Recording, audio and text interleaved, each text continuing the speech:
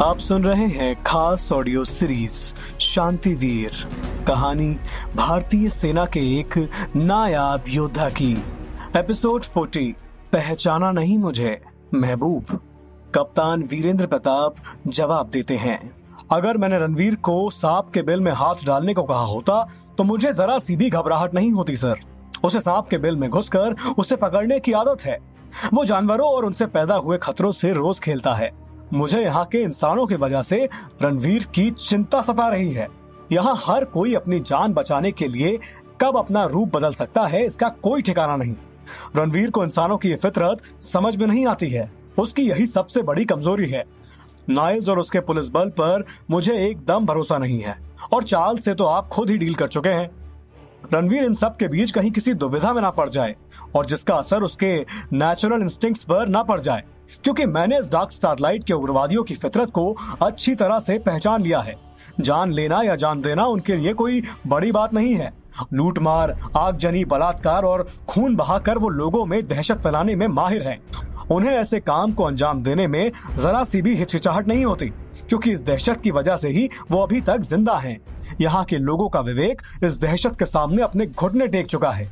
और वो उनसे अपनी जान छुड़ाने के लिए बेहिचक झूठ बोल सकते हैं और रणवीर को धोखा दे सकते हैं। रणवीर की शक्ति उसकी तेज गति से स्थिति को भापने और फिर बिजली की गति से उस स्थिति में जवाब देने में छिपी हुई है।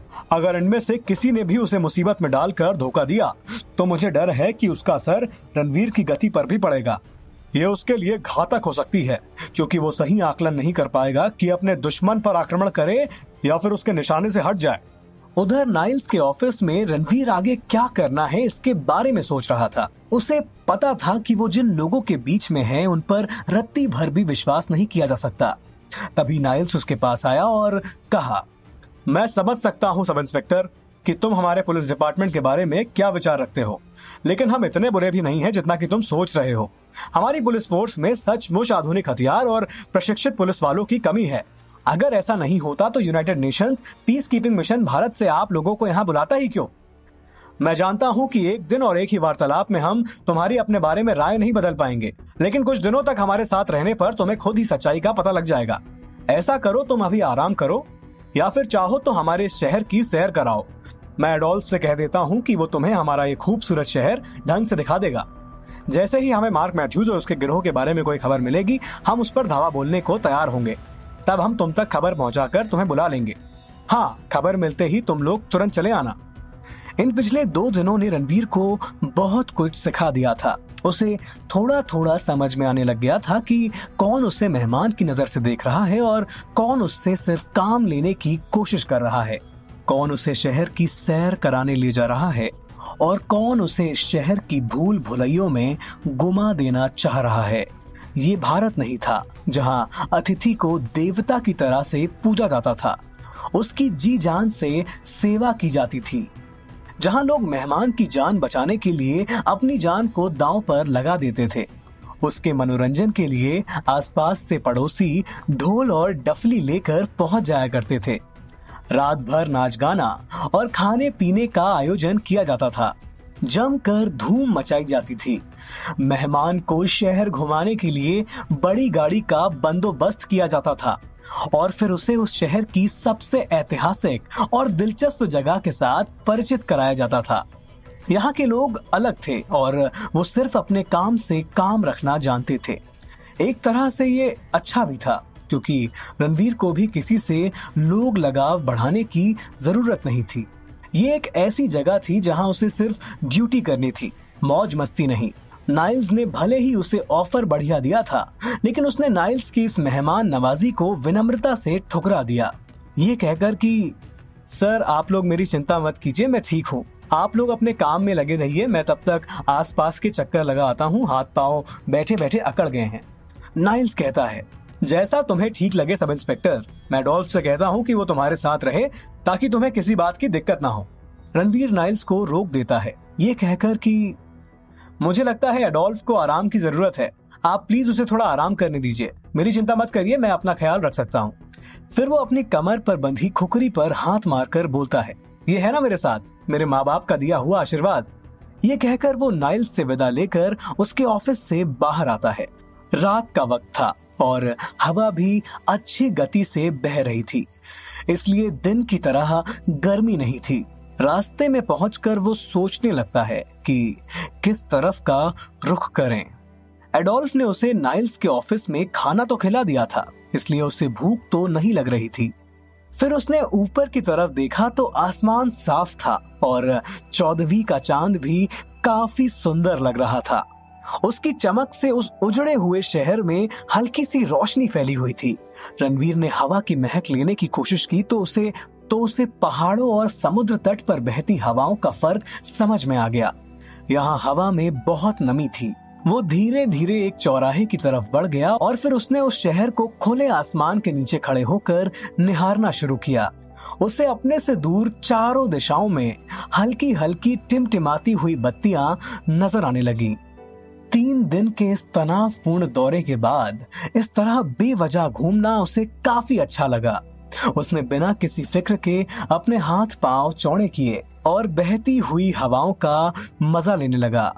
उसके सीनियर अफसर जा चुके थे तो उसे किसी का हुक्म भी नहीं बजाना था। वो कुछ पल के लिए ही सही लेकिन आज़ाद था, उन्हीं खुली हवाओं की तरह। नाइल्स का बुलावा आने तक वो इन लम्हों का खुलकर मज़ा लूटना चाहता था। उसने क्राउन प्रिंस सिटी के चक्कर लगाने की सोची। वो इस जगह को अपनी तरह से पहचानना चाहता था। आने से पहले उसने इस जगह के बारे में काफ़ी जानकारी ली थी। वो उन सब किताबी जानकारियों को अपनी आँखों से परखना चाहता था। उसे पता था कि हेल्सी एक छोटा सा देश है, जिसकी जनसंख्या शायद 10 लाख के करीब थी। इतनी जनसंख्या तो भारत के छोटे कस्बों में हुआ करती थी। इस देश में आठ ज़िले थे, जिनमें से सिर्फ़ दो ही ऐसे थे जहाँ शांति नाम की चीज़ का निवास था। बाकी के छह जिलों में अशांति फैली हुई थी, जिसका मूल कारण इसके इतिहास में छुपा था। पहले यहाँ पर भारत की तरह ही अंग्रेज़ों का राज था, फिर द्वितीय विश्व युद्ध के बाद वो लोग इस देश को गुलामी की जंजीरों से तो आज़ाद कर गए लेकिन उन्होंने जाने के पहले यहाँ की सत्ता किसी जिम्मेदार लोगों के हाथों में नहीं सौंपी।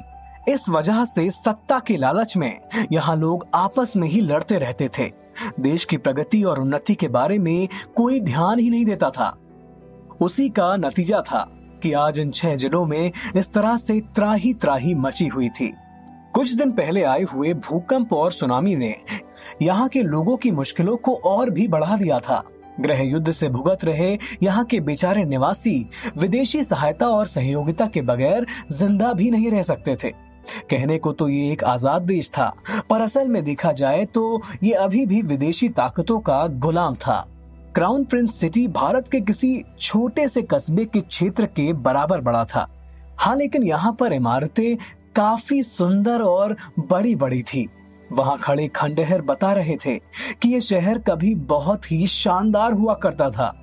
शहर की साइज़ इतनी छोटी थी, इसलिए रणवीर को समझ में नहीं आ रहा था कि वो किस तरफ़ का रुख करे।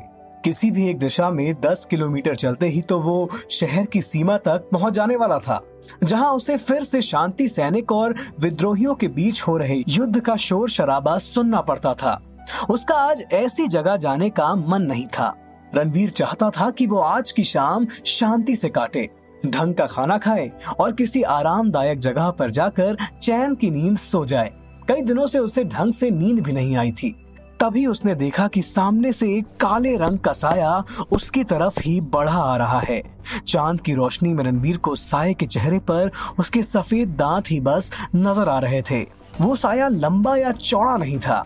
बल्कि दुबले पतले आदमी का था, जो शायद उससे थोड़ा सा ही लंबा था। वो साया किसी को खोज रहा था। धीरे धीरे उस चांदनी रात में कई और साए भी रास्ते पर उमड़ कर आने लगे।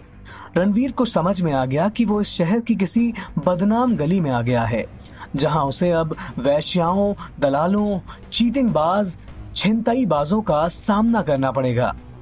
शायद वो लोग उसे अपना आदमी समझकर उसकी तरफ़ ही बढ़े आ रहे थे। उसे समझ में आ गया कि अब वहाँ एक अलग ही तरह की महफिल जमने वाली थी, जहाँ रात के राजा और रात की रानियाँ अपने अपने जलवे दिखाने वाले थे।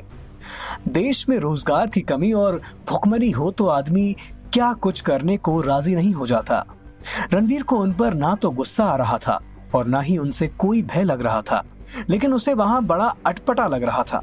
रणवीर ने वहाँ से खिसक लेने में ही अपनी भलाई समझी और वो घूम कर वापिस लौटने वाला ही था कि उसके कानों में एक आवाज़ आई। सब इंस्पेक्टर रणवीर सिंह नेगी, शर्मा गए क्या? रणवीर ने जब अपना नाम सुना तो चौंक गया और फिर रुक कर मुड़कर देखने की कोशिश की कि आखिर इस शहर में ऐसी जगह में उसे कौन पहचान सकता है।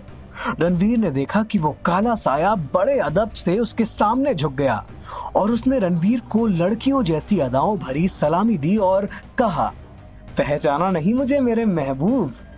रणवीर ने गौर से उसे देखा तो पाया कि उसके सामने एडोल्फ खड़ा है। उसने हल्के रंग की पतलून और रंग बिरंगी फूलों की प्रिंट से भरी एक शर्ट पहन रखी है। उसके चेहरे पर एक बड़ी सफ़ेद मुस्कान फैली हुई थी। रणवीर ने मन ही मन सोचा, अब इसको क्या हो गया? रात की चांदनी में यहाँ लोगों पर कोई भूत प्रेत की आत्मा समा जाती है क्या?